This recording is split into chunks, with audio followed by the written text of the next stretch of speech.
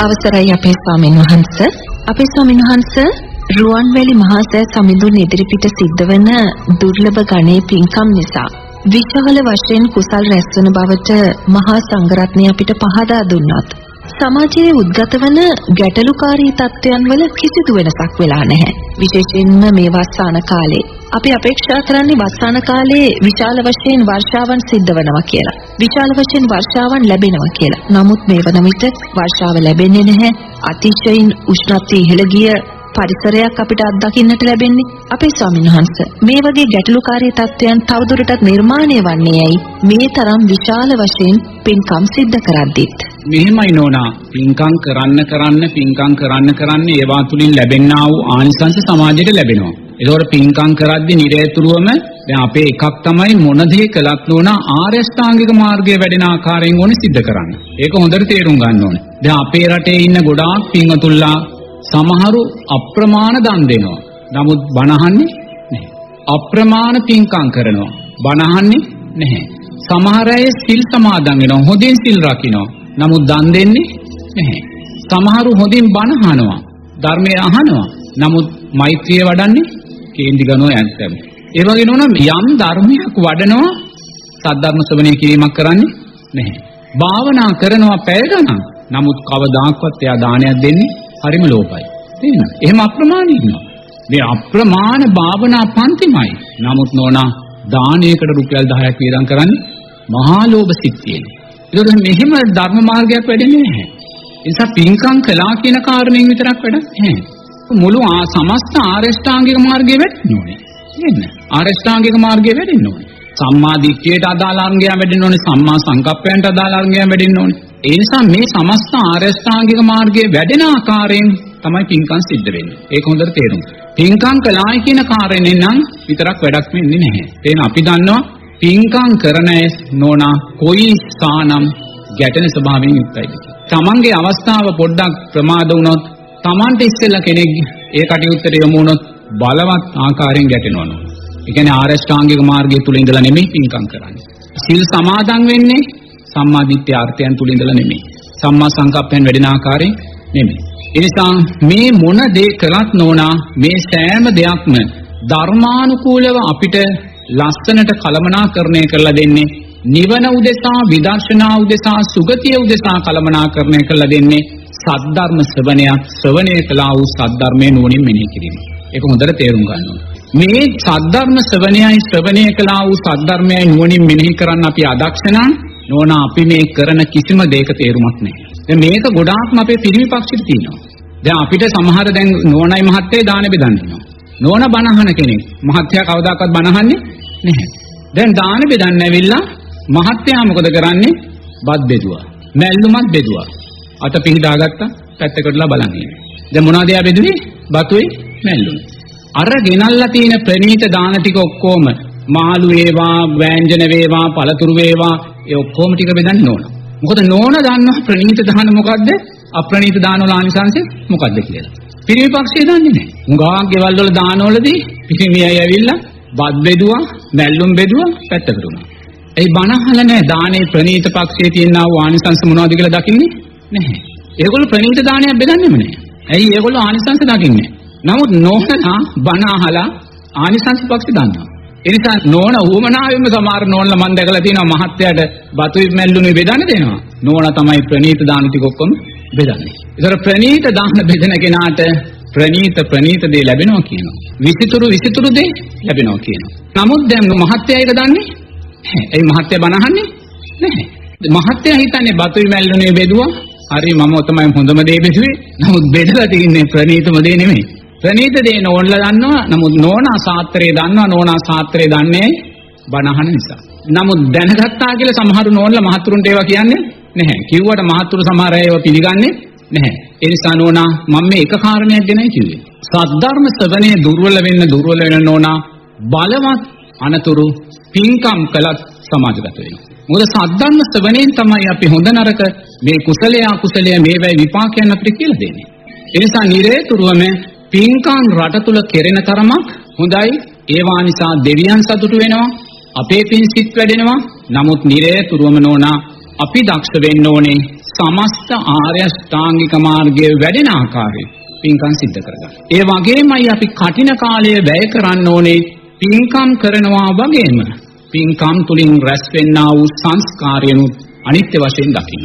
මොකද මම භික්ෂුවක් හැටියට වස් කාලේ ඔය ප්‍රසිද්ධ මහා පින්කම් කරනවට නම් එච්චර කැමති නැහැ. බුදුරජාණන් වහන්සේ අපිට සංඝයා හැටියට ගිහි පින්වතුන්ලාත් එක්ක එකතු වෙලා මහා පින්කම් කරන තැනට නෙමෙයි වස් කාලේ අපිට යන්න කියලා තියෙන්නේ.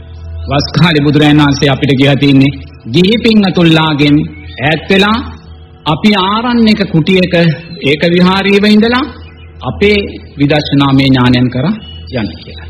තේරෙනවද? එතනයි යන්න කියන්නේ. ඒතර බුදුරජාණන් වහන්සේ බණ ඇහුවා වූ සක්‍ර දෙවියන් බුදුරජාණන් වහන්සේගෙන් බණ ඇහුවා වූ සතරවරම් දෙවියන් බුදුරජාණන් වහන්සේගෙන් බණ ඇහුවා වූ මාර්ගඵලලාභී අප්‍රමාණ දෙවිවරු නෝනා කවදාක්වත් අපි සීමා වික්මලා කටයුතු කරනවට දරු කරයි කියලා මම නම් හිතන්නේ නැහැ. තේරෙනවද? ඒ නිසා දෙවියන් සතුටු වෙන්නේ දෙවියන් සාදුකාර දෙන්නේ දෙවියන් සම්බන්ධ වෙන්නේ සද්ධාව තියෙන දෙවි කෙනෙක් නම් බුදුරජාණන් වහන්සේට අදාළව කටයුතු කළොත් පමණයි. බුදුරජාණන් වහන්සේට අදාළව කටයුතු කරපු පමණයි. ඒ නිසා නිරේතුරුවම අපි කොයි දේ කරන්න වුණත් වස් කාලේදී බුදුරජාණන් වහන්සේ පනවපු යම් බලාපොරොත්තුවක් තියෙනවා නම් සංඝයාවන අපෙන් මොකද්ද බලාපොරොත්තුව? ඔබලා කුටියකට වෙලා ආරණ්‍යයකට වෙලා පන්සලට වෙලා ගිහි ජනතාවගෙන් ඈත් වෙලා ගිහි ජනතාවගෙන් සිව්පස්සේ අරගෙන ඒ සිව්පස්සේ උපරිම වටිනාකම ඒගොල්ලන්ට ලබා දෙන හැටියට අපිට නෝනා විදර්ශනාත්මක ශක්තිය ජීවිතයට එකතු කරගන්න කියලයි බුදුරජාණන් වහන්සේ අපිට දේශනා කරන්නේ. තේන? නමුත් පින්කම් කිරීම ඊටමත් හොඳ දෙයක්. ඒ නිසා වස් කාලේ පින්කමක් තියෙනවා නම් ඒකට සම්බන්ධ වෙන්න ඒක එපා කියලා මම කියන්නේ නැහැ. තේරෙනවද? එපා කියලා කියන්නේ නැහැ. මොකද ඒවාට සම්බන්ධ වීමට බුදුරජාණන් වහන්සේ විනයානුකූල අවසරය අපිට දීලා තියෙනවා. සංඝයා උදෙසා කටයුතු කරන්න, ශාසනය උදෙසා කටයුතු කරන්න, එවැනි දේවල් නිසා විනයානුකූලව නිදහස අපිට දීලා තියෙනවා. එතන ප්‍රශ්නයක් නැහැ. නමුත් නෝනා වර්තමාන සමාජයේ ඔය කොයි තැනින් වෙනස් වෙන්නත් ඉස්සෙල්ලා වෙනස් විය යුත්තේ මේ රටේ පාලන තන්ත්‍රයයි. තේරෙනවද? ඒක පක්ෂ හෝ විපක්ෂ හෝ අපිට එහෙම දෙයක් නෙමෙයි රටේ පාලනය නිවැරදි වෙන්න ඕනේ. එච්චරයි. ඒ පාලනය නිවැරදි වෙලා එන කෙනා කවුද කියන කාරණේ අපිට අදාළ නැහැ. තේරෙනවද? පාලනය නිවැරදි නොවන තාක්කල් නෝනා මේ පල්හානම් ගොඩ නගන්න බෑ. තේන්න? පල්හානම් ගොඩ නගන්න බෑ. නමුත් අපිට එක දෙයක් කරන්න පුළුවන් පල්ලෙහා ආරෂ්ඨාංගික මාර්ගය තුල ශක්තිමත් වෙමින් ඒ ශක්තියෙන් ඉහළ නිවැරදි වේවා කියලා අදිෂ්ඨානයක් ඇති කරගන්න පුළුවන්. සත්‍යක්‍රියාවක් කරන්න පුළුවන්. එහෙනම් නමුත් සමාජය තුල යම් විනාශකාරී දෙයක් වෙනවා නම් ඒ විනාශකාරී දේ වෙනස් කරන්න නම් ඕනා අනිවාර්යෙන්ම මේ රටේ පාලන තන්ත්‍රයේ ප්‍රශ්නයකින් මේක වෙන්නේ. ඒක හොඳට තේරුම් ගන්න. ඒ නිසා ජනතාව රට වර්තමානයේ ඉල්ලන ප්‍රධානම දේ තමයි නෝනා තමා තමාට ආදරය කරන පාලකෙක් තමයි වර්තමාන සමාජය ඉල්ලන්නේ. තේරුණාද? තමා තමාට ආදරය කරන පාලකෙක්. මෙච්චර කාලයක් රටේ ජනතාව රටට පත් කරගත්තේ රටට ආදරය කරන පාලකෙක්. තේරුණාද? දැන් මෙච්චර කාලයක් රටට ආදරය කරන නායකයින් පත් කරගෙන රටට වෙලා තියෙන විනාශය හොඳටම ඇති. ඒ නිසා මින් ඉදිරියට රටට අවශ්‍ය තමා තමාට ආදරය කරන්න ආවු නායකයෙක්. තේරෙනවද? මොකද රටට ආදරය කරනවා කියලා පත්තුන කිසිම නායකයෙක් තමා තමාට ආදරය කළේ නැහැ. තමා තමාට ආදරය කරනවා කියන්නේ නෝනා තමා සිල්පද පහ තුල ආරක්ෂා වෙනවා. තේරෙනවද? තමා කුසල් මූලයන් තුල ආරක්ෂා වෙනවා. තමා මේ සම්මා සම්බුද්ධ ශාසනයේ වටිනාකම දකිනවා. මේ රුවන්වැලි මහා සෑසමුදුන් ජයශ්‍රී මහා බෝසමිදුන් ස්ථානගත වෙලා තියෙන දන්ත ධාතුන් වහන්සේ වැඩ සිටින සිරිපාදපත් වහන්සේ වැඩ සිටින මේ උත්තරීතර මහ පොළවේ තියෙනා වූ ධර්මානුකූල වටිනාකම දකිනවා. දැකලා තමා කුසලයේ තුල ශක්තිමත් වෙන කෙනෙක්. අන්න තමා තමාට ආදරය කරන පාලකයා. තේරෙනවද? නමුත් මෙච්චර කාලයක් අපි පත් කරලා තින්නේ රටට ආදරය කරන පාලකයෝ.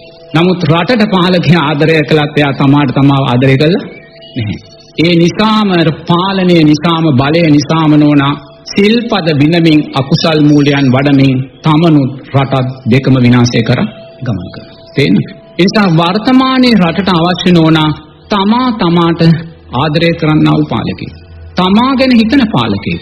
තමන් මැරුණාට පස්සේ සතර අපායක් තියෙනවා.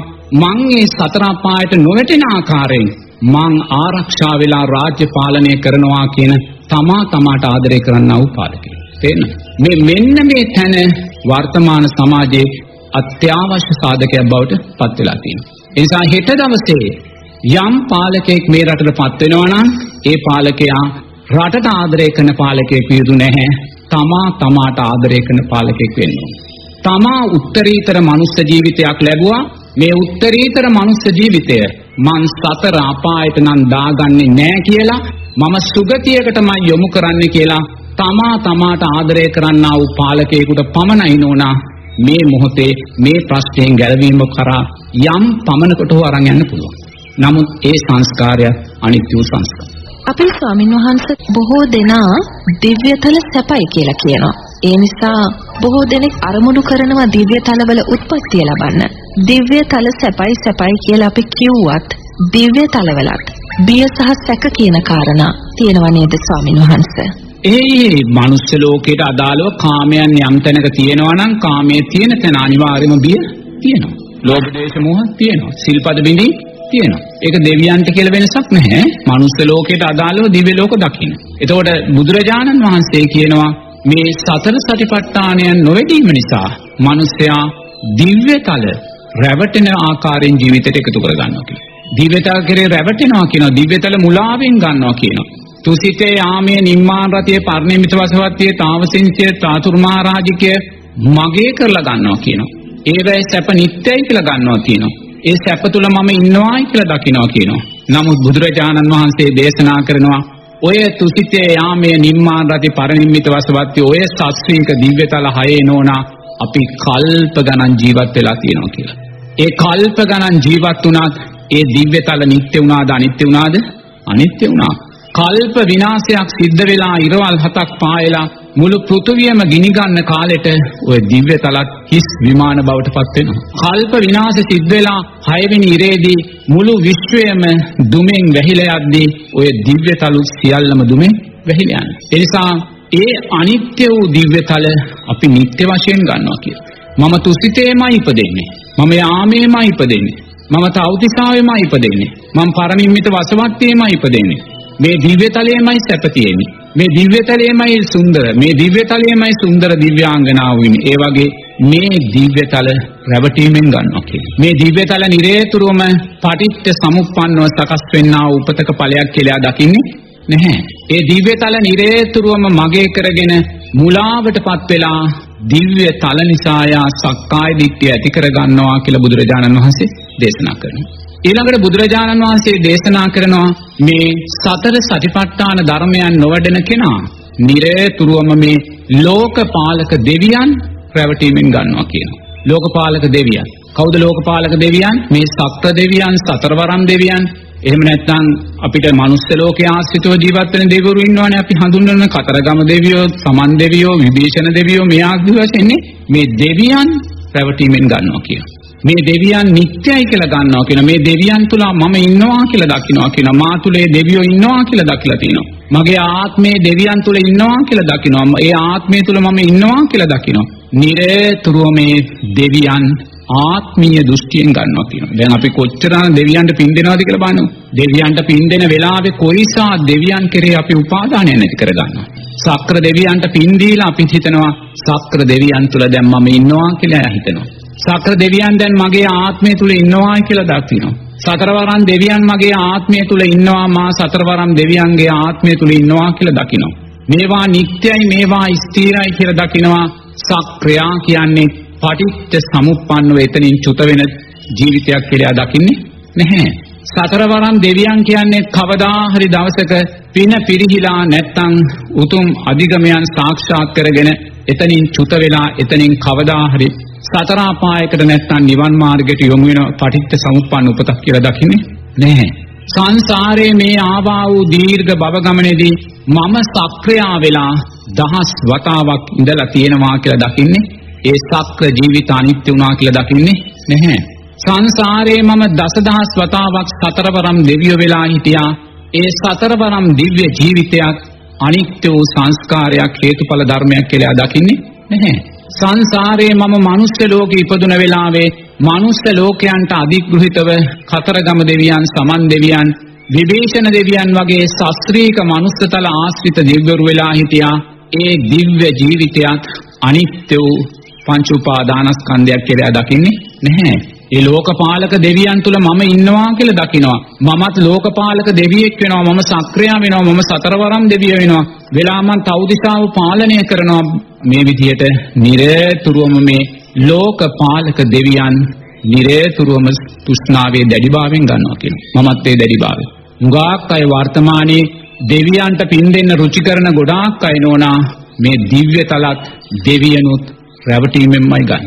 රැවටීමෙන්ම ගන්න. දිව්‍ය තල තුල මම ඉන්නවා කියලා දකමින් පින්කම් කරමින් පින්කම් කරමින් තුසිතේ යාමයේ නිම්මාන රතිය පරිනිම්මිත වසවත් වීම ප්‍රාර්ථනා කරනවා. මේ දිව්‍ය තලවල ඉන්න සෑම දෙවි කෙනෙක්ම කවදා හරි දවසක පටිච්ච සමුප්පන්නව එක්කෝ නිවන් මාර්ගයේ ඉදිරියට යනවා එක්ක සතර අපායට වැටෙනවා එක්ක චුත වෙනවා කියන කාරණය දකින්නේ නැහැ.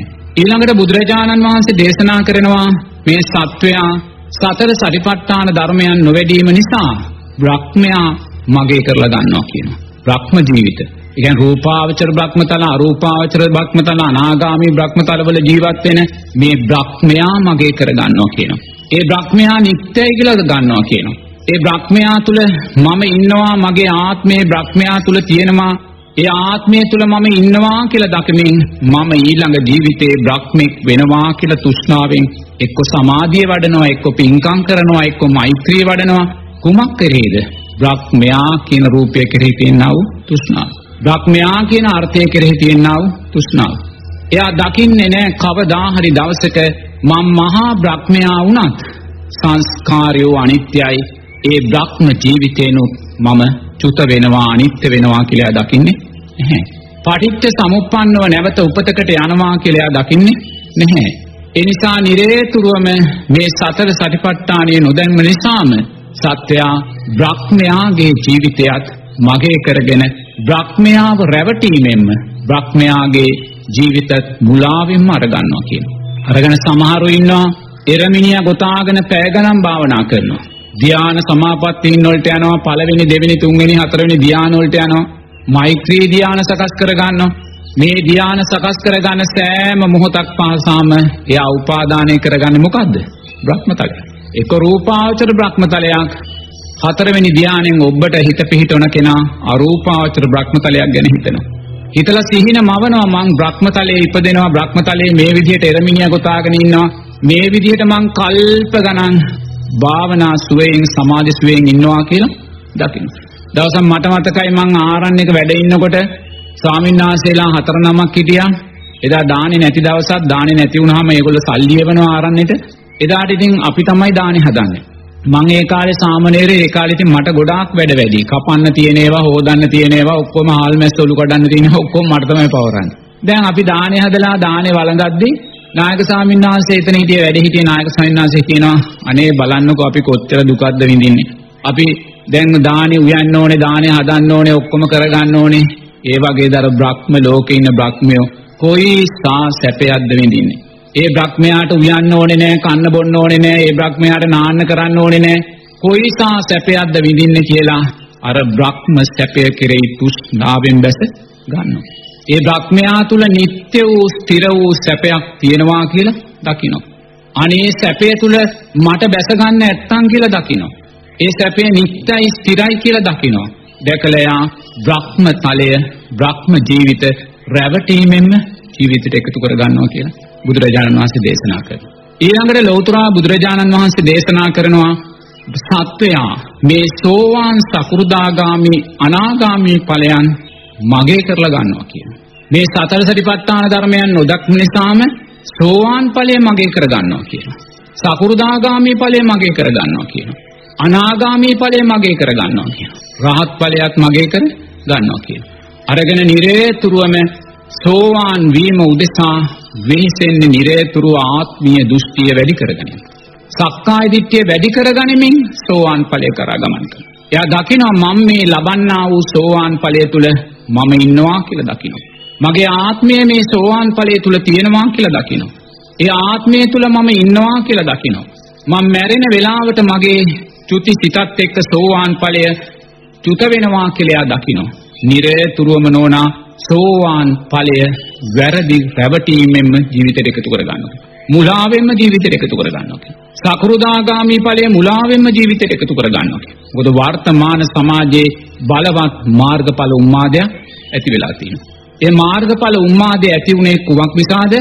සත්වයා, මිනිසයා සතර සතිපට්ඨානයෙන් බැහැර වෙලා නිරේතුරුවම මිච්ඡා මාර්ග තුල ගමන් කරලා අන්තවාදීව ඉස්සරහට ගිහිල්ලා නෝනා අන්න සෝවාන් ඵලය මුලාවෙන් ගන්න. මම සෝවාන් වුණා කියලා ප්‍රවෘත්ති සාකච්ඡා පවත්වන තැනට අද සමාජය පත් වෙලා තියෙනවා. ඇයි සෝවාන් ඵලය සක්කාය දිට්ඨියෙන් ගන්න. ඒ නිසා නිරේතුරුවම මේ සතර සටිපට්ඨානයන් නොවැඩීම නිසා රූප වේදනා සංඥා සංකාර විඥාන මෙන්න මේ පංච උපාදානස්කන්ධය කෙරේ තියෙන තෘෂ්ණාවේ දැඩිභාවය නිසාම නෝනා සෝවාන් ඵලය තුල මම ඉන්නවා කියලා ගන්නවා. සකෘදාගාමී ඵලය තුල මම ඉන්නවා කියලා ගන්නවා. අනාගාමී ඵලය තුල මම ඉන්නවායි කියලා ගන්නවා. රහත් ඵලය තුල මම ඉන්නවායි කියලා ගන්නවා. ඒ රහත් ඵලය තුල මගේ ආත්මය තියෙනවා, ඒ ආත්මය මගේ තුල ඉනවායි කියලා දකිනවා. මම කවදා හරි මැරෙන වෙලාවට මගේ රහත් විඥාණය මෙතනින් පිට වෙනවායි කියලා දකිනවා. දැකලා නිරේතුරුව නෝනා අධිගමයන්යා සක්කාය දිට්ඨියෙන් මමත්වයේ දැඩිභාවයෙන් ගන්නවා කියනවා. ඒ අරගෙන නිරේතුරුවම අධිගමයන් නිසාම බලවත් වූ ලෝභ දේශ මෝහයන් ඇති කර ගන්නවා වගේම ඒ ලෝභ දේශ මෝහයන් හේතු කරගෙන බලවත් ශාසනික පරිහානියන් කරා ශාසනය අරගෙන යනවා කියලා බුදුරජාණන් වහන්සේ දේශනා කරනවා. මුලාවෙන්මයි දකින්නේ. දැන් වර්තමාන සමාජයේ බලවත් ආකාරයෙන් තියෙනවා. සතියෙන් සෝවාන් වෙන්න යනවා. සති දෙකෙන් සෝවාන් වෙන්න යනවා. මෙච්චර ගාණක් දීලා පාඨමාලා තියනවා සෝවාන් වෙන්න කියලා. මේ සෑම තැනකදීම නෝනා සෝවාන් ඵලය නිරතුරුව මේගොල්ලෝ රැවටීමේ ගන්නවා. හේතුඵල ධර්මයන්ට අදාළව ගන්නෙ නැහැ. ඒ වගේම ඊළඟට ලෞතුරා බුදුරජාණන් වහන්සේ දේශනා කරනවා මේ සත්වයා සතර සරිපට්ඨාන ධර්මයන් නොවැඩීම නිසා මේ පංච උපාදානස්කන්ධයේ අනිත්‍යභාවය නොදැකීම නිසා එයා නිවනත් මගේ කරගන්නවා කියලා. නිවනත් මගේ කරගන්න. නිවන තුල මම ඉන්නවා කියලා දකිනවා. නිවන තුල මගේ ආත්මය තියෙනවා කියලා දකිනවා. ඒ ආත්මය තුල මම ඉන්නවායි කියලා දකිනවා. නිරේතුරුවම මම මැරෙන වෙලාවේ මගේ නිවනේ ආත්මය මෙතනින් පිට වෙනවායි කියලා දකිනවා කියනවා. දැන් සමහරු කියනවා ලෞතුරා බුදුරජාණන් වහන්සේ අවුරුදු 5000 ගිය තැනදී රුවන්වැලි මහා සෑයෙන් ධාතු පරිනිර්වාණය වෙලා මතුවෙලා පිරිනිවී යනවා කියලා ආත්මීය දෘෂ්ටියෙන් ගන්නවා බුදුරජාණන් වහන්සේ. බුදුරජාණන් වහන්සේ පිරිනිවී ගියා. බුදුරජාණන් වහන්සේ සූත්‍රගත ධර්මයක පැහැදිලිව කියනවා මේ මම පිරිනිවන් පෑවාට පස්සේ මේ ලෝක ධාතුවේ කිසිම සත්වයකට නැවත බුදුරජාණන් වහන්සේගේ රූපකාය දකින්න බැහැ කියලා. බොහොම පැහැදිලිව කියලා තියෙද්දී බුදුරජාණන් වහන්සේගේ නිවීම පිරිනිවීමත් ආත්මීය දෘෂ්ටියෙන් ගන්න. ආයිමත් පිරිනිවී ගිය බුදුරජාණන් වහන්සේ දකින්න ලැබෙනවායි කියලා ආත්මීය දෘෂ්ටියෙන් ගන්න. මහා කාශ්‍යප මහරහතන් වහන්සේ පිරිනිවන් පාල ඉවරයි. මහා කාශ්‍යප මහරහතන් වහන්සේ මෛත්‍රී බුදුරජාණන් වහන්සේගේ ශාසනයේ ආයිමත් මතුවෙනවා කියලා සමහර ස්වාමින් වහන්සේලා දේශනා කරනවා මං අහලා තියෙනවා. ඒ කියන්නේ නිවන තුලත් සත්‍යයේ පුද්ගලයෙක් දකින්න. නිවන තුලත් ආත්මීය භාවයක් දකින්න. නිවන තුලත් කාශ්‍යප මහරහතන් වහන්සේ ඉන්නවා කියලා දකින්න. නිවන තුලත් බුදුරජාණන් වහන්සේ ඉන්නවා කියලා දකින්න. නිවන තුල ආත්මීය වශයෙන් ඉඳලා කවදා හරි ආත්මය චුත වෙලා ඔන්න ධාතු පරිනිර්වාණයදී මතුවෙනව නැත්තම් මෛත්‍රී බුදුරජාණන් වහන්සේගේ ශාසනයේදී මහා කාශ්‍යප මහරහතන් වහන්සේ ආයිමත් මතුවෙනවා කියලා සක්කාය දිට්ඨියෙන්ම රැවටීමෙන්ම නිවනත් ගන්නවා. අපේ ස්වාමින් වහන්ස බුද්ධ අදිෂ්ඨානයන් හැටියට සලකන යම් යම් සිදුවීම් පිළිබඳව අපි ශ්‍රවණය කොට තිබෙනවා. අපේ ස්වාමින් වහන්ස බුදුරජාණන් වහන්සේලා එසේ අදිෂ්ඨානයන් සිද්ධ කරනවාද? නෑ නෑ නෑ බුදුරජාණන් වහන්සේලා අදිෂ්ඨාන කරන්නේ එහෙම අදිෂ්ඨාන බුදුරජාණන් වහන්සේලාගේ ඔය ආත්මීය අදිෂ්ඨාන නැහැ. ඒක කවදා හරි දවසක අපි අවබෝධාත්මක තැනට ඇවිල්ලා දකින්න ඕනේ. එහෙම නැත්නම් ඉතින් ඕවා සාමාන්‍යයෙන් අමූලිකා සද්ධාවෙදී නම් ඕවා නෝනා මේ එළි වෙනකම් වර්ණනා කර කර කතා කරන්න පුළුවන්. ඒකට කියන්නේ අමෝලිකා ශ්‍රද්ධාව. බුදුරජාණන් වහන්සේ පිරිනිවන් පාන වෙලාවේ බුදුරජාණන් වහන්සේ ලෝකෙට දේශනා කළ එක අවවාදයයි. ඒ අවවාදය තමයි මහණෙනි සියලු සංස්කාරයෝ අනිත්‍යයි. හිස ගිනිගත් එක්කේ ගිනි නිවන්නේ යම්සේද මේ භවගින්දර නිවන්න උච්චරද ඕක තමයි බුදුරජාණන් වහන්සේගේ අදිෂ්ඨානය. බුදුරජාණන් වහන්සේ සාරා සංඝ කල්ප ලක්ෂ ගානක් දසපාරමී ධර්මයන් පුරලා ඒ සාරා සංඝ කල්ප ලක්ෂ ගානක මහා යුග මෙහෙවර අවසන් කරලා පිරිනිවන් මංචකේ සැතපීලා යම් අදිස්ථානයක් කළා නම් යම් අවවාදයක් ලෝකෙට දුන්නා නම් ඒක අවවාදයයි ඒ තමයි මහණෙනි සියලු සංස්කාරයෝ අනිත්‍යයි. සියලු සංස්කාරයෝ අනිත්‍යයි ඒ කියන්නේ ඔබ කරන්නා වූ මේ සෑම කුසල් සංස්කාරයක්ම සෑම අකුසල් සංස්කාරයක්ම විපාක දීලා අනිත්‍යභාවයට පත් වෙනවා. ඒ නිසා මේ විපාක දීලා අනිත්‍ය වෙන භාවයට පත් වෙන සංස්කාරයන්ට බැඳෙන්න එපා. හිස ගිනිගත්තේ ඒ ගිනි නිවන්නේ යම්සේද භව ගින්දර නිවා ගන්න. ඕකයි බුදුරජාණන් වහන්සේගේ අදිෂ්ඨානය.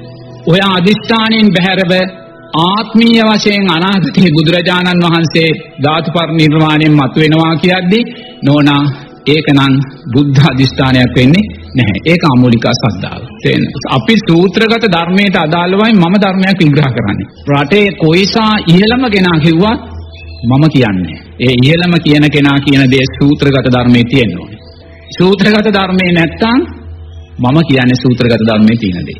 අපිට බුදුරජාණන් වහන්සේ එතනයි පූර්වාදර්ශයට ඉන්නේ කියන්නේ. ඒ නිසා නෝනා අමූලිකා සද්ධාව වැඩි වෙන්න වැඩි වෙන්න අනාගතයේදී බුදුරජාණන් වහන්සේ අවුරුදු 10000 ෙදි මතුවෙනවා කියලා කියයි. ඒකට කියන්නේ නෝන අමූලිකා සද්ධාව කියලා. ඒ නිසා බුදුරජාණන් වහන්සේ කෙනෙක්ගේ එකම අදිෂ්ඨානය තමයි මේ සියලු සංස්කාරයෝ අනිත්‍යයි.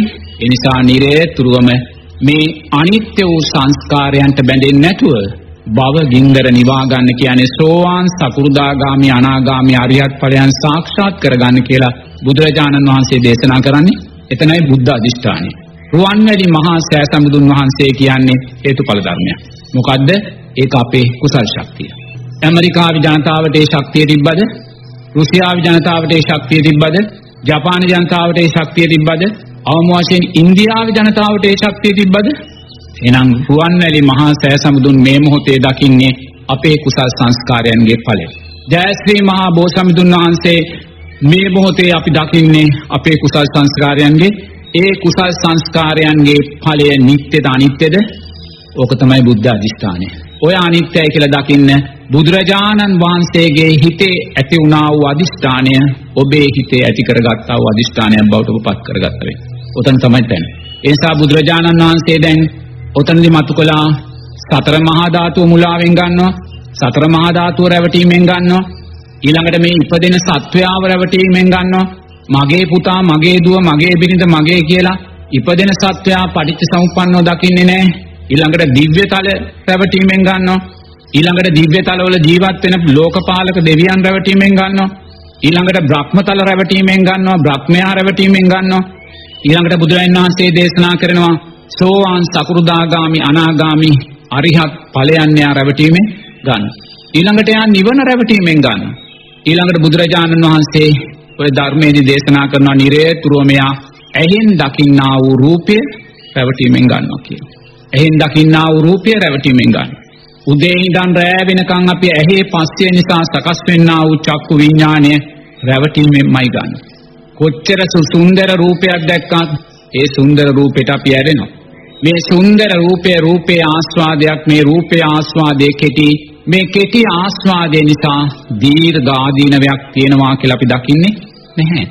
මේ රූපයක් දැක්කා කියන්නේ ඇහි පස්සේ ආධ්‍යාත්මික රූපයක් බාහිර රූපයක් විඥානයක් තුන එකතුණා මේ පස්සේ තෘෂ්ණාවෙන් තෙත්තුන තැනයි මේ රූපය කෙරේ ඇලීම් ගැටීම් සකස් වුනේ කියලා අපි දකින්නේ.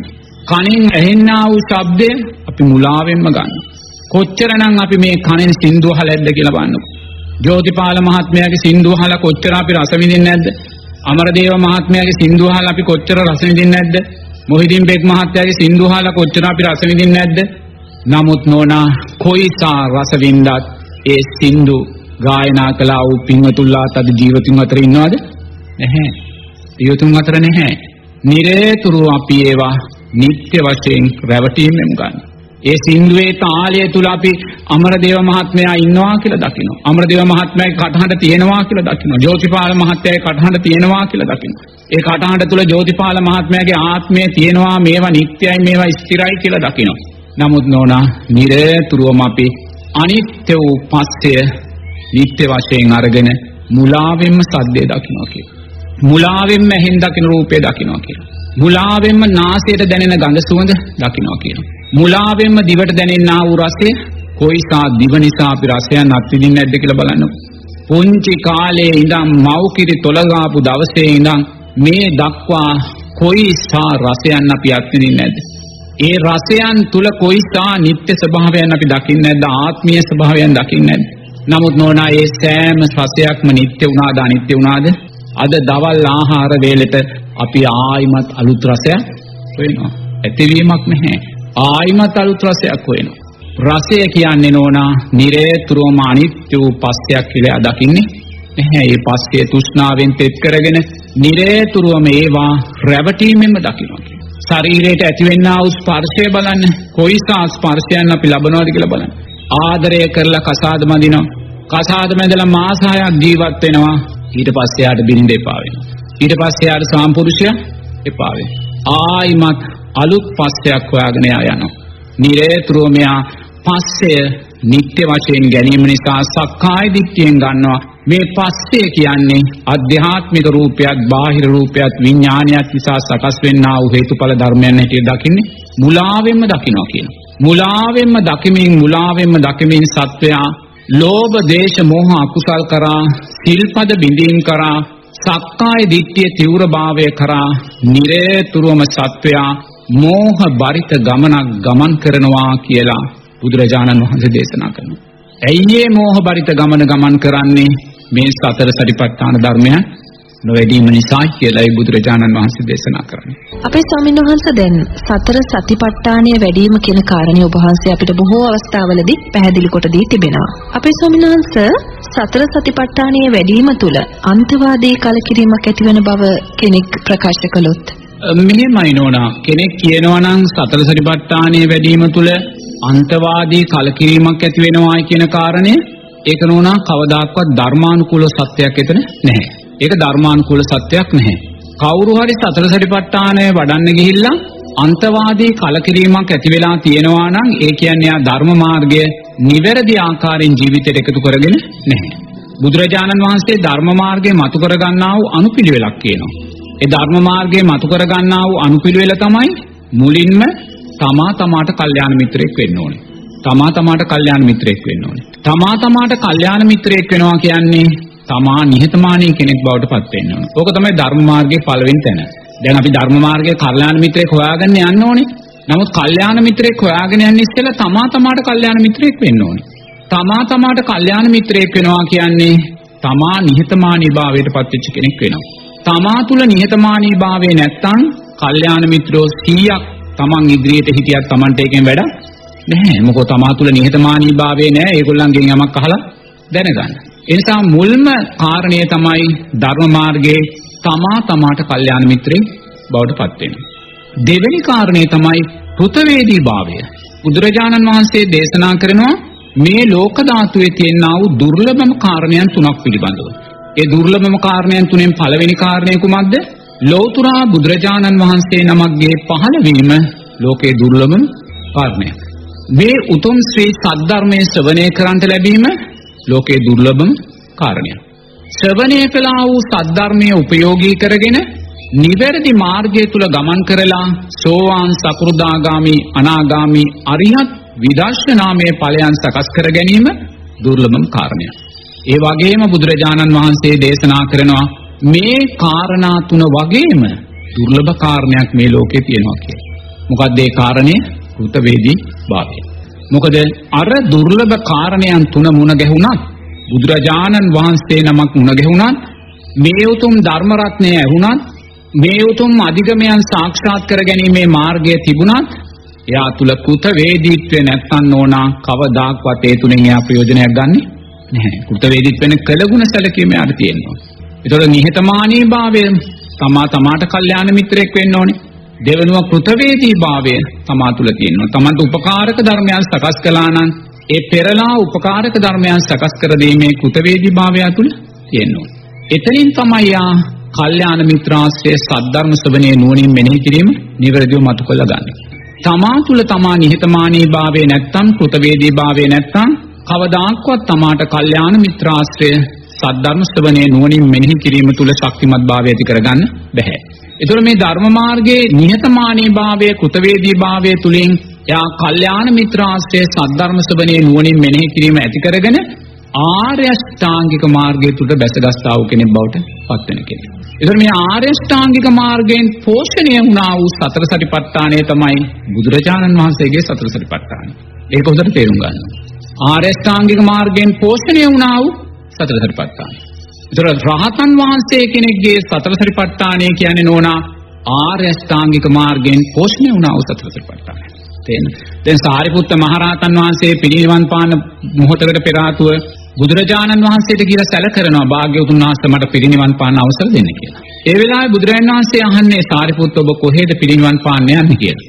ඒ වෙලාව කියනවා මම උපන් නාලක ගමේ මගේ අම්මාගේ නිවසේමයි මං උපන් නිවසේමයි පිරිනිවන් පාන්නේ කියලා. ඒ වෙලාවේ බුදුරජාණන් වහන්සේ අහනවා ඇයි ඔබ උපන් නිවසේ අම්මාගේ නිවසේ පිරිනිවන් පාන්නේ කියලා. දැන් අපි රහතන් වහන්සේ කෙනෙක් කියන්නේ නෝනා සියල්ල අතහැරියායි කියන තැනනේ නේ. එයා ආයිමත් අම්මයි ගෙදරට දැන් වර්තමානයේ අපි කියමු රහතන් වහන්සේ නමක් ඉන්නවා කියලා. ඒ රහතන් වහන්සේ අපි දන්නේ නැහැ උන්වහන්සේ රහත් වෙලාද නැද්ද කියන්නේ. බුදුරජාණන් වහන්සේ නමක් ලෝකේ නැහැනේ. නමුත් උන්වහන්සේ දන්නවා උන්වහන්සේ රහත් ඵලයටපත් වෙලාද නැද්ද කියලා. ඒතර උන්වහන්සේ අවසාන මොහොතේ තීරණය කරනවා මම පිරිනිවන් පාන්නේ මගේ අම්මගේ නිවසේ. මොකද අම්මා තාම ධර්මයේ තුල ශක්තිමත් නැහැ. ඒතකොට යම් මොහොතකේ රහතන් වහන්සේ අම්මාගේ ගෙදරට ගිහිල්ලා ගෙදරදී දැස් දෙක පියාගත්තොත් ලෝකයා අඩුම වශයෙන් එයා ඒ ස්වාමීන් වහන්සේ සෝවාන් වෙලාවත් කියලා කියයිද? නැහැ. මොන පිස්සුද මේ එයාට තාම අම්මවත් අතහැර ගන්න බෑ. තේන්න? ඉපදුන ගේවත් අතහැර ගන්න බෑ. තේන්න? ඉතින් උතන්නේ අපි කියන තැන බුදුරජාණන් වහන්සේ අහනවා කොහෙද සාරිපුත්ත ඔබ පිරිනිවන් පාන්නේ? මම නාලක ගමේ සාරි බැමින මගේ අම්මගේ නිවසේ මම පිරිනිවන් පානවා කියලා. ඒතර අහන ඇයි ඔබ මේ ගෙදර තෝරගත්තේ?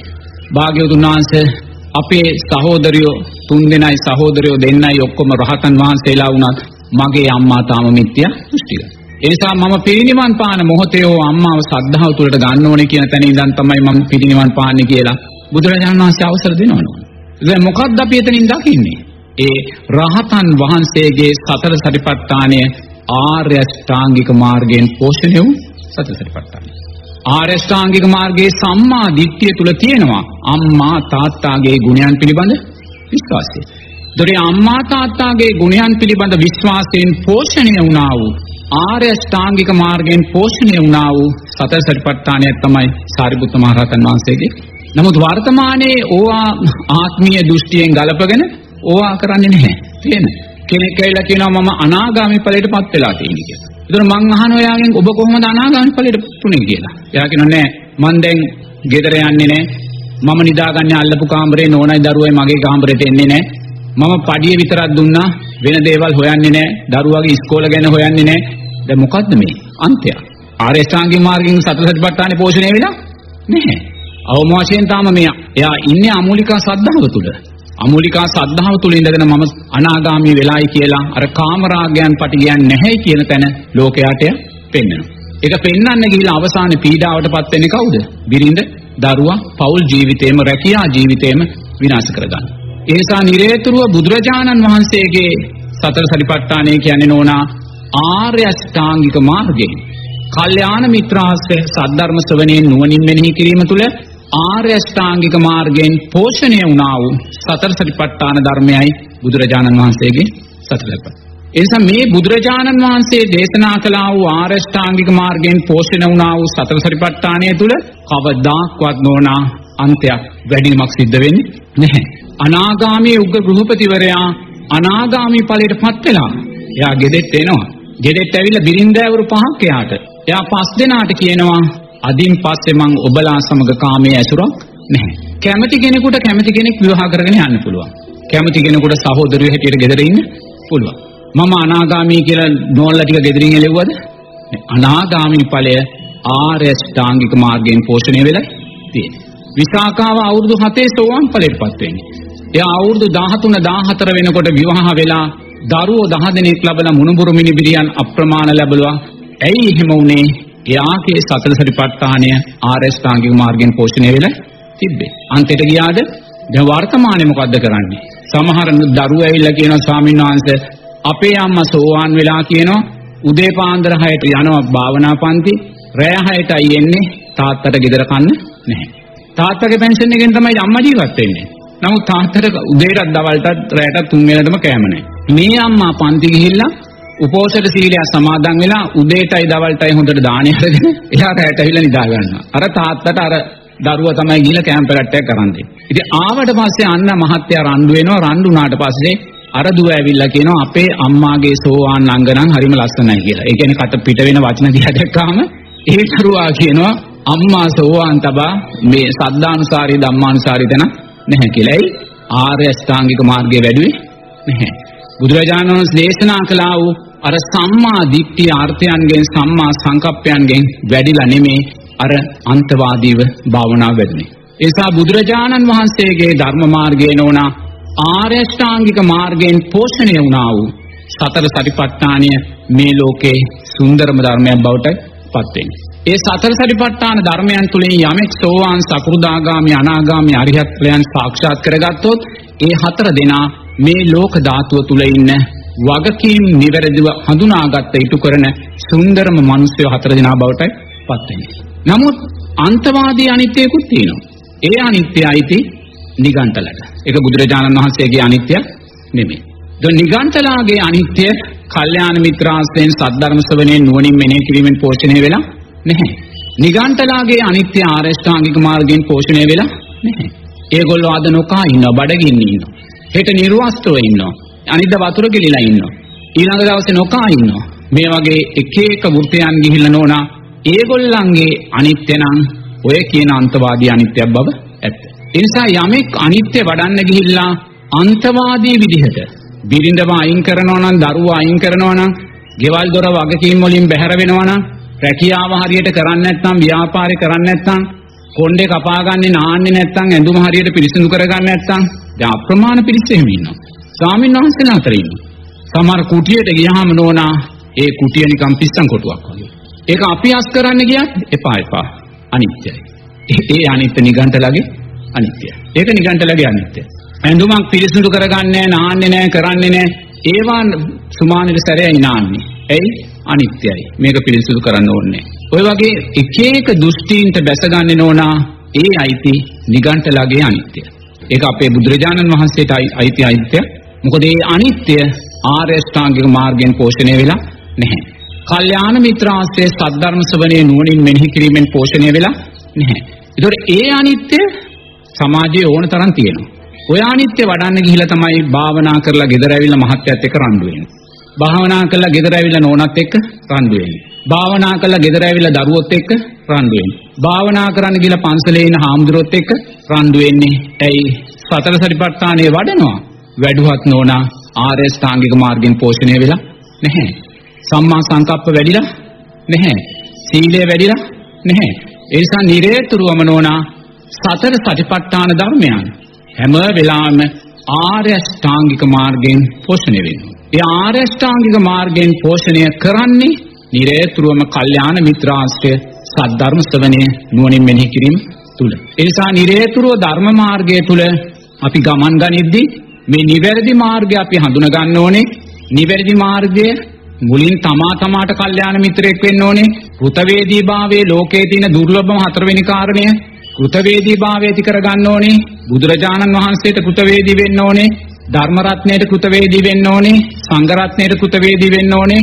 බුදුරජාණන් වහන්සේ සාරා සංඝ කල්ප ලක්ෂ සියක් කෝටි ප්‍රකෝටි ගාණක් පටිච්ච සමුප්පන්නව වින්දා වූ දසපාරමී දුකට අපි කෘතවේදී වෙන්න ඕනේ. හය අවුරුද්දක් දුෂ්කර ක්‍රියා කළ ඒ මහා කැපවීමට අපි කෘතවේදී වෙන්න ඕනේ. එහෙනම් අපි බුදුරජාණන් වහන්සේට කෘතවේදී වුණා කියන්නේ කුමකින්ද? ධර්ම රත්නයට කෘතවේදී වුණා කියන්නේ කුමකින්ද? සංඝ රත්නයට කෘතවේදී වුණා කියන්නේ කුමකින්ද? මේ උතුම් ධර්ම මාර්ගයේ උපයෝගී කරගෙන අපි උතුම් සෝවාන් ඵලයට පත් වෙන තාක්කල් අපි තෙරුවන් උදෙසා කෘතවේදී භාවයට පත් වෙලා නැහැ. තාම අපි බුදුරජාණන් වහන්සේට කෙලෙ ගුණ සලකලා නැහැ.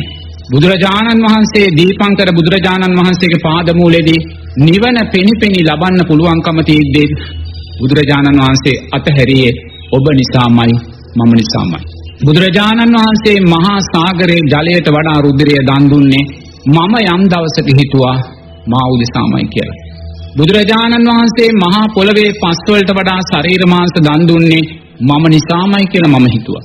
බුදුරජාණන් වහන්සේ සක්විති රජකම රාජ පදවි මැති ඇමති සිටු පදවිට දන් දුන්නේ මා උදෙසාමයි කියලා මං හිතුවා. බුදුරජාණන් වහන්සේ හය අවුරුද්දක් දුෂ්කර ක්‍රියා කළේ මා උදෙසාමයි කියලා මම හිතුවා.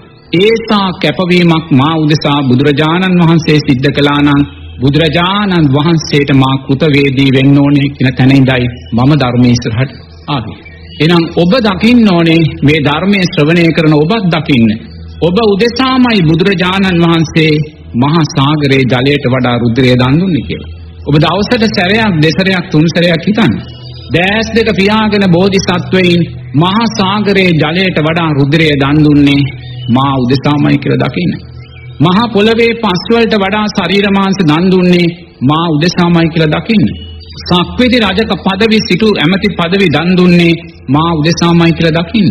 හය අවුරුද්දක් මරණීය දුෂ්කර ක්‍රියා කළේ මා උදෙසාමයි කියලා දකින්න. ඒ දකිද්දී බුදුරජාණන් වහන්සේ උදෙසා ඔබ විසින් දැක්විය යුතු කෘත වේදීත්වය නොනා අයෝමය මහා කෘත වේදීත්වයක් දැක්විය යුතුයි කියලා ඔබට දෙනවා. ඒ කෘත වේදීත්වයට දක්වන්නේ කෙසේද කියන කාරණේ ඔබට මතු කරලා දෙන්නේ කල්යාණ මිත්‍රාශ්‍රයත් සද්ධර්ම ශ්‍රවණයත් නුවණින් මං ආවා වූ ගමනයි මේ කියන්නේ. ඒතකොට ඒ තුලින් අන්‍යයා දකිනවා මේසා අයෝමය කැපවීමක් කරපු බුදුරජාණන් වහන්සේට මම කෘත වේදීත්වභාවය දක්වලා මේ ලෝක ධාතුව තුල තියෙන ශ්‍රේෂ්ඨම දුර්ලභම හතරවෙනි කාරණය මං ජීවිතයට එකතු කරගන්න නම් අනිවාර්යයෙන්ම අවම වශයෙන් සෝවාන් ඵලයටපත් වෙන්න ඕනේ කියන කාරණය. ඉතින් උතනින් අපි මත ධර්මයේ මතු කරලා ගන්න ඕනේ. එතනින් ගත්තොත් අපිට කවදාක්වත් නෝනා ඔය අන්තවාදී අනිත්‍යයක් කරා අපි යන්නේ නැහැ. අන්තවාදී අනිත්‍යයක් කරා යන්නේ නැහැ. මේ ලෝක ධාතුවේ සෝවාන් ඵලය සාක්ෂාත් කරගත්ත බෞද්ධ පින්වතා කියන්නේ නෝනා තමාගේ යුතුයකම් නිවැරදිව ඉටු කරන තමාගේ බිරිඳට තමාගේ දරුවන්ට මව් දෙමාපියන්ට ඥාතීන්ට ඉපදුන රටට ජාතියට ආගමට මහාන බමුණන්ට යුතුයකම් අකුරට ඉටු කරන පෞරුෂත්වයෙන් පිරිච්ච නෝනා ලස්සනම සමාජ ජීවත් වෙන මිනිසයා තමයි සෝවාන් ඵලයටපත් වෙච්ච මිනිසයා. ඒ නිසා මොකද එයාගේ සෝවාන් ඵලය ආර්ය අෂ්ටාංගික මාර්ගයෙන් පෝෂණය වුණා වූ සතර සතිපට්ඨානේ ඵලයක්. ඒ නිසා ඉනිරේතුරුවම අන්තයකට යනවායි කියන කාරණය සතර සරිපට්ඨානයේ වැඩිලා වඩල තේරුමක් නැහැ. ඒක ධර්මයට එකක දෙයක් නෙමේ. ඒවා සම්පූර්ණයෙන්ම අන්තවාදී ධර්මයන්. ඒ නිසා බුදුරජාණන් වහන්සේ දේශනා කළා උදේ කරන්න. බාහිර ලෝකයක් කියන දේවල් කරන්න යන්න එපා. අපි යමක් ජීවිතයට ගන්න ඕනේ දුකෙන් මිදුණා වූ උත්මේ කියපු දේ. කවුද දුකෙන් මිදුනේ? ලෝතුරා බුදුරජාණන් වහන්සේ. අතීත රහතන් වහන්සේලා. උන්වහන්සේලා දේශනා කළා වූ ධර්මයයි සූත්‍රගත ධර්මයේ තියෙන්නේ. ඒතර සූත්‍රගත ධර්මයේ කල්යාණ මිත්‍රාශ්‍රයේ සද්ධර්ම ශ්‍රවණයේ නුවණින් මෙනෙහි කිරීම, ඒ තුලින් ආරෂ්ඨාංගික මාර්ගය මතු කිරීම, ආරෂ්ඨාංගික මාර්ගය තුලින් සම්මා සමාධිය තුලින් සතර සතිපට්ඨානයන් මතු කිරීම කියන තැනයි බුදුරජාණන් වහන්සේගේ ධර්මය. ඒ නිසා අපි දුකෙන් මිදුනේ නැති දුක තුල ජීවත් වෙන එක එක අයගේ දේවල් පසුපස්සේ ගියොත් නම් නෝනා අපිට කවදාකවත් දුකෙන් මිදෙන්න පුළුවන් කමක් ලැබෙන්නේ නැහැ. තේරෙනවද? ඒක අපි තේරුම් ගන්න ඕනේ.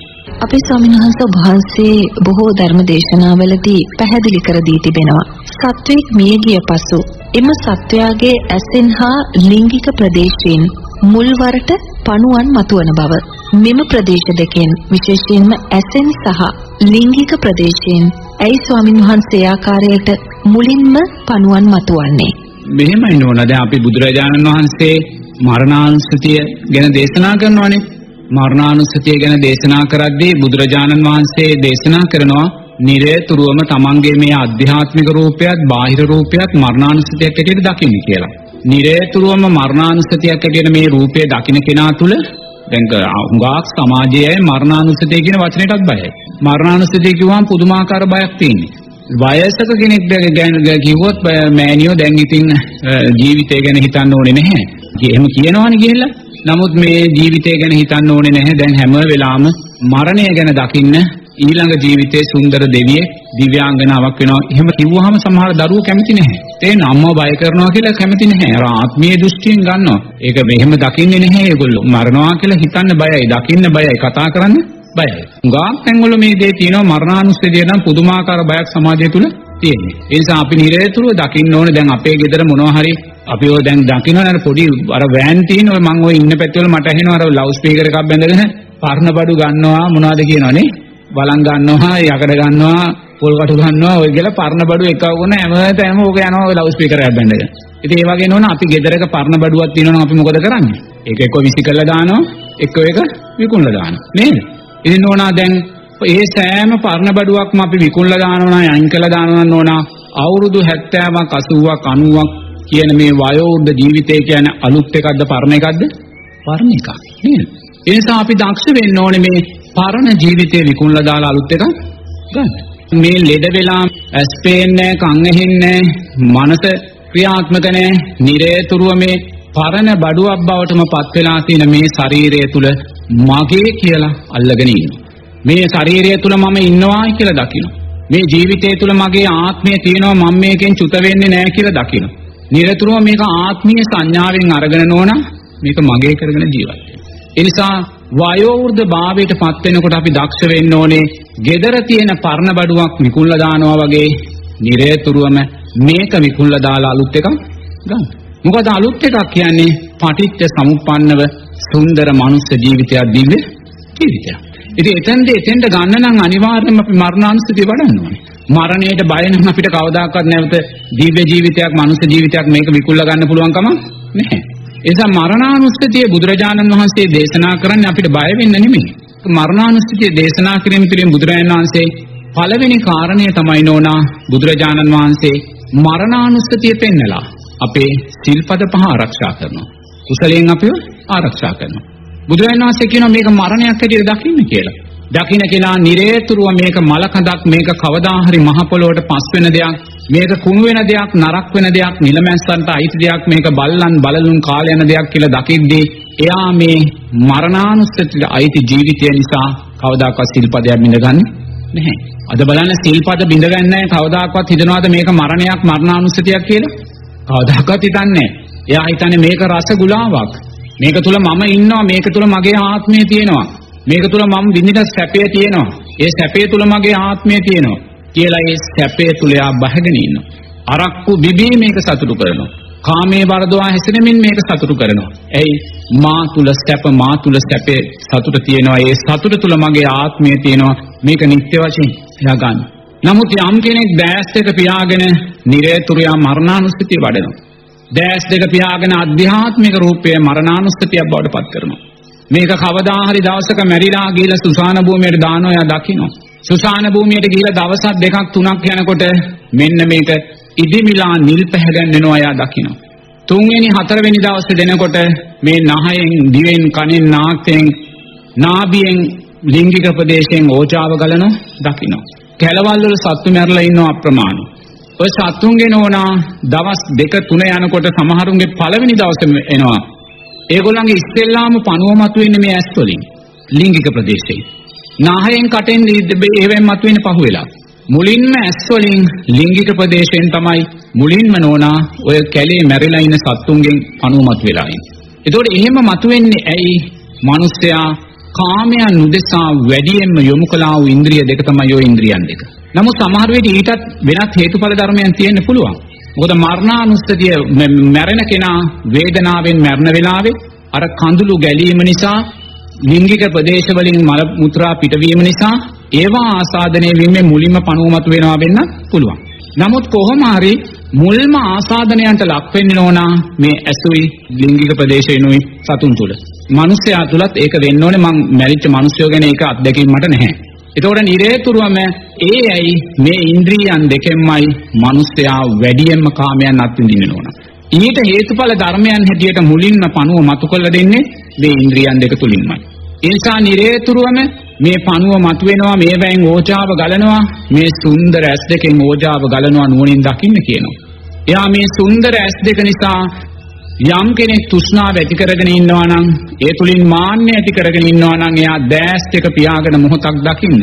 මේ ඇස් දෙක කවදා හරි මරණානුස්සතියක් වෙච්ච වෙලාවේ මේ ඇස ඉදිමිලා මේ ඇස ඕජාව ගලලා මේ ඇසෙන් පණුව වැగిරෙනවා නුවණින් දකින්න කියන්නේ. මේ බොරුවක් නෙමෙයි මේක තමයි ඇත්ත කතාව.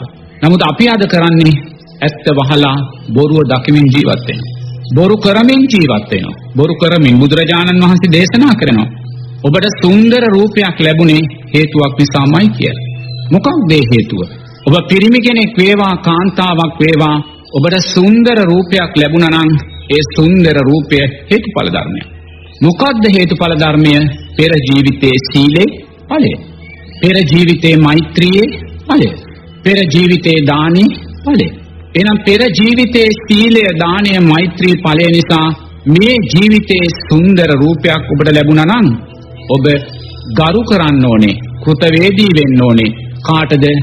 දානයටත්, සීලයටත්, මෛත්‍රියටත්. මොකද මේ තුනයි ඔබට මේ රූපය ලැබලා දුන්නේ. එච්චරයි. ඕන සුන්දර රූපයක් දකින්න වර්තමානයේ අප්‍රමාණ සුන්දර රූපයන් තියෙනවනේ නේද? ඒකෝ මේ සුන්දර රූපයන් කුමක් නිසාද ලැබුණේ? පෙර දානය, සීලය, මෛත්‍රී ඵලය. එහෙනම් ඔබේ සුන්දර රූපය දරාගෙන ඔබ කෘතවේදී වෙන්න ඕනේ කාටද? දානයටත්, සීලයටත්, මෛත්‍රියටත්. ඔබ ජීවිතයට එකතු කරගන්න ඕනේ ඒ කාරණා තුන. ඔබ දක්ෂ වෙන්න ඕනේ මට මේ උතුම් සුන්දරත්වය ලැබුණේ මේ ශරීරයේ සුන්දර ලස්සන ලැබුණේ මේ රිද්මය මේ ලාලිත්‍ය මගේ තාරුණ්‍යයට ලැබුණේ පෙර ජීවිතයේ දානය සීලය මෛත්‍රිය නිසාමයි. ඒ නිසා මම මේ ජීවිතේ ශක්තිමත්ව දානයට සීලයට මෛත්‍රියට කෘතවේදීභාවය දක්වලා මම ඊළඟ ජීවිතේ මීට වඩා සුන්දර දිව්‍යාංගනාවක් වෙනවා කියන උතන තමයි ධර්මය. අපේ ස්වාමීන් වහන්ස පෙර ජීවිතයේදී දානය මෛත්‍රිය ශීලය තුලින් අප ලද මේ මනුෂ්‍ය භවය අපි මේ වෙනකොට වැය කරන්නේ කුමක් සඳහාද? පෙර ජීවිතේ දානය මෛත්‍රිය සීලය නිසා ලැබුණා වූ මේ සුන්දර ජීවිතය අපි මොකද කරන්නේ? සුවඳ විලවුන් වලින් පවුඩර් වලින් මෝස්තර විලාසිතා වලින් මේකට කෘතවේදීභාවය දක්වනවා. කෘතවේදීභාවය දක්වනවා. නිරේතුරුවම නෝනා අපි වැරදි පාරක යෑම නිසා අපි නිරේතුරුවම හේතුව වූ සැබෑ හේතුව පැත්තකින් තියලා අපි නිරේතුරුවම සුවඳ විලවුන් පවුඩර් මෝස්තර අරවයින් මේවයින් අපි මේකට කෘතවේදීභාවය දක්වන්න ගිහිල්ලා අපි මොකද්ද කරන්නේ නෝනා? නිරේතුරුවම වස විස සහිත ඵලයක් තමයි අවසානයේදී අරගන්නේ. වස විස පහිත ඵලයක්. මොකද වස විස සහිත ඵලයක් කියන්නේ? ලෝභ දේශ මෝහයන් සහිත සතර අපා ජීවිතයක්. මොකද අපි කෘතවේදීත්වය දක්වන්නේ සීලයටවත් මෛත්‍රියටවත් දානයටවත් නෙමෙයි. අප කෘතවේදීත්වය දක්වන්නේ පවුඩර් වලට සුවඳ විලවුන්ට මෝස්තර වලට ඕවට කෘතවේදීත්වය දක්වලා අපි අවසානයේ වස විස සහිත ඵලයක් තමයි වස විස සහිත ඵලයක් කියන්නේ සතරපා ඵලයක්. ඒ නිසා කොයිසා සුන්දර ජීවිතයක් ඔබ දානීය සීලය මෛත්‍රිය නිසා ලැබුවත් මේ සංස්කාරයෝ අනිත්‍යයි කියලා බුදුරජාණන් වහන්සේ කියන්නේ දානය සීලය මෛත්‍රිය තුළින් මේ හැදුනා වූ සුන්දර ඇස් දෙක කවදා හරි මරණානුස්සතියක් වෙච්ච වෙලාවේ ඕජාව ගලලා පණුව වැගිරෙනවමයි. මේ කනෙන් ඕජාව ගලලා පණුව වැගිරෙනවමයි. මේ නාසයෙන් ඕජාව ගලලා පණුව වැගිරෙනවමයි. මේ දිවෙන් ඕජාව ගලලා පණුව වැගිරෙනවමයි. මේ නාභියෙන් මේ ලිංගික ප්‍රදේශවලින් ඕජාව ගලලා පණුව වැගිරෙනවමයි. දැස් දෙක පියාගෙන ඒ ඇත්ත කතාව ධර්මානුකූලව දකින්න කියලා බුදුරජාණන් වහන්සේ දේශනා කරනවා. බොරුවෙන් බැහැර වෙන්න කියලා. මොකද ඔබ සාරා සංක කල්ප ලක්ෂ 100ක් කෝටි ප්‍රකෝටි ගාණක් පටිච්ච සමුප්පන්නව ඔය බොරුව තුලයි ජීවත් වුනේ. බුදුරජාණන් වහන්සේ කෙනෙක් සාරා සංක කල්ප ලක්ෂ ගාණක් පෙරම් පුල්ල ලෝකෙට පහළ වෙන්නේ. ජනතාව ඔය බොරුවෙන් බැහැර කරලා ඇත්තට අරන් ඉන්න. ඒ නිසා බුදුරජාණන් වහන්සේ දේශනා කරනවා මේ උතුම් සම්මා සම්බුද්ධ ශාසනයක් මුණ ගැහුණ වෙලාවේ මේ උතුම් ආර්ය ශ්‍රාංගික මාර්ගයේ චතුරාර්ය සත්‍ය මුණ ගැහුණ වෙලාවේ බොරුවෙන් බැහැර වෙලා ඇත්තට එන්න කියලා නෝනා. ඇත්තට එන්න කියලා. ඒ ඇත්තට ඇවිල්ලා එයා මරණානුස්සතිය නිරේතුරුව දකිද්දී එයා කවදාක්වත් මේ මැරෙන රූපයක් නිසා සිල්පද බිඳ ගන්න යන්නේ නැහැ. අද මිනිස්සු කවදා හරි මරණානුස්සතියක් වෙන රූපයක් නිසා මේ සිල්පද බිඳගන්නේ. ගහ ගන්නවා මරා ගන්නවා කාමයේ වර්ධව හැසිරෙනවා අරක්කු බොනවා බොරු කියනවා මනුස්ස හිංසනයන් කරනවා සතර අපාගත වෙන බලවත් අකුසලයන් කරගන්නේ මේ මරණානුස්සතියක් සතුරු කරන්න. මේ මරණානුස්සතියක් සතුරු කරන්න. ඒ නිසා මරණානුස්සතිය පුහුණු කරන කෙනා නෝනා කවදාක්වත් මැරෙන රූපයක් නිසා මහ පොළොවට පස් වෙන රූපයක් නිසා මේ පණුව වැగిරෙන රූපයක් නිසා නිලමැස්ස වට කරගත්ත රූපයක් නිසා බල්ලෝ නරියෝ කඩ කඩා කන රූපයක් නිසා සිල්පද බිඳ ගන්න යන්නේ නැහැ. අකුසල් මූලයන් වඩන්නේ නැහැ. එයා නිරේතුරුවම මේ මැරෙන රූපය උපයෝගී කරගෙන නොමැරෙන්නා වූ නිවන කරා යන්නා වූ ගමනක් තමයි යන්නේ. එතකොට ඒකෙන් එයා මොකද්ද කළේ? සිල්පද ආරක්ෂා කරන කෙනෙක් බවට පත් වුණා. දෙවනුව මරණානුස්සතිය වඩන කෙනා එයා නිරේතුරුවම නෝනා ස්වභාවිකව මැරෙන මොහොතේ එයා මරණය දක්ෂාකාරයෙන් කළමනා කරගන්නවා. ධර්මානුකූලව කළමනාකරණය කරනවා. මොකද එයා මැරෙනවා කියලා දකිමින් ජීවත් වුණේ. එයා දන්නවා කවදා හරි දවසක මම මැරෙනවා කියන කාරණය දකිනවා. දැකලා මරණයට සූදානම් වෙමින් එයා ජීවත් වුණේ කුසලිය තුල පින තුල නිරේතුරුව සද්ධර්මයේ තුල. එයා ස්වභාවික මරණය කොයි වෙලාවෙ ආවත් ඒ ස්වභාවික මරණයට එයා ධර්මානුකූලව බියකින් තොරව මුණ දෙනවා. අන දෙවෙනි කාරණේ. තුන්වෙනි කාරණේ මොකද්ද? මරණානුස්සතිය වඩන කෙනා තුල නිරේතුරුව සතර ඉද්ධිපාද ධර්මයන් වැඩෙනවා. සතර ඉද්ධිපාද කියන්නේ මොකද්ද? ඡන්දය, වීරය, චිත්තය, විමර්ශනා කියන සතර ඉද්ධිපාද ධර්මයන් වැඩෙනවා. එතකොට නිරේතුරුව සතර ඉද්ධිපාද වඩන්න වඩන්න යා තුල මොකද්ද වැඩෙන්නේ? ආයුෂ දීර්ඝ බවට පත් වෙනවා. එහෙනම් මරණානුස්සතිය වඩන කෙනා මරණානුස්සතිය තුල හිටියත් ධර්මානුකූලව එයාගේ ආයුෂ දීර්ඝභාවයට පත් වෙනවා. දැන් අද බලන්න අද ලෝකයේ ආයුෂ වේගයෙන් දුර්වල වෙනවා, අඩු වෙනවා. ඇයි ලෝකෙන් ආයුෂ අඩු වෙන්නේ? ජනතාව මරණානුස්සතිය බැහැ වෙලා. ජනතාව මරණානුස්සතිය වඩන්නේ නැහැ. මරණානුස්සතිය නොවැඩෙන නිසා සතර ඉර්ධිපාද වැඩෙන්නේ නැහැ. බුදුරජාණන් වහන්සේ දේශනා කරනවා යමෙක් සතර ඉර්ධිපාද වඩනවා නම් එයාට කල්පයක් ආයුෂ ජීවත් වෙන්න පුළුවන් කියලා. වර්තමානයේ කල්පයක් එන අවුරුදු 90ක් වගේ. එහෙනම් අපි මරණානුස්සතිය වඩන්න වඩන්න ඒ පුද්ගලයා තුල සතර ඉදිපාද වැඩෙනවා. සතර ඉදිපාද වැඩෙන්න වැඩෙන්න ඒ පුද්ගලයාට මොකද වෙන්නේ? නිරේතුරුවම යාගේ ආයුෂ දීර්ඝභාවයටපත් වෙනවා. දැන් අවසානයේ මරණානුස්සතිය වඩන්න ගිහලා මොකක්ද උනේ? මරණානුස්සතිය වඩන්න ගිහිල්ලා එක සිල්පද ආරක්ෂා කරගන්නවා දෙක ස්වභාවිකවම මරණ මොහොතේ මරණය දක්ෂාකාරයෙන් ධර්මානුකූලව කළමනාකරණය කරගන්නවා තුන්වෙනුව ආයුෂ දීර්ඝභාවයට පත් කරනවා. වන මරණානුස්සතිය කොයිසා සුන්දර ධර්මයක්ද කියලා. නමුත් වර්තමාන සමාජයේ මරණය කියනකොට බයයි.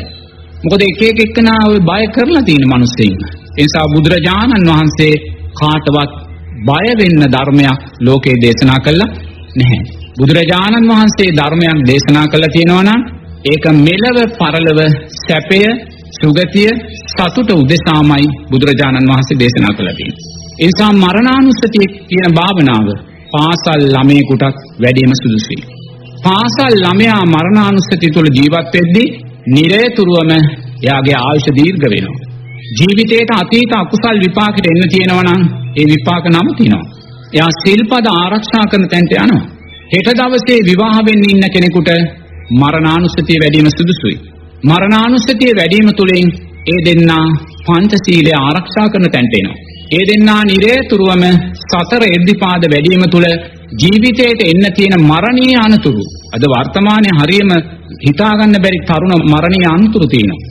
වාහනවල ගිහිල්ලා හැප්පෙනවා, ත්‍රිවිල් වල ගිහිල්ලා හැප්පෙනවා, බයිසිකල් වල ගිහිල්ලා හැප්පෙනවා, රණ්ඩු වෙලා ගහගෙන මරා ගන්නවා.